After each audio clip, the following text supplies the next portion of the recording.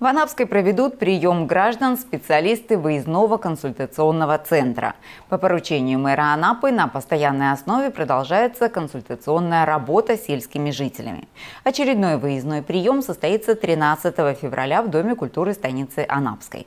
Жители сельского округа смогут получить консультации специалистов Управления социальной защиты населения, Пенсионного фонда, ресурсоснабжающих организаций, Управления ЖКХ, архитектуры, имущественных отношений, транспорта и дорожного хозяйства и других ответственных служб.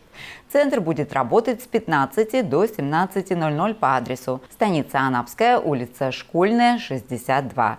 А партнер сегодняшнего выпуска – торгово-розничный комплекс «Фермерский двор». Оптово-розничный склад «Фермерский двор» – это новый уровень комфорта для покупателей. Огромный ассортимент продуктов питания, отличные цены, всегда свежая продукция, большой выбор фермерской домашней продукции, прекрасные мясные и рыбные отделы, овощи и фрукты оптом и в розницу, восточные сладости, саженцы, хозяйственные товары и многое-многое другое ждет вас на Астраханской 104.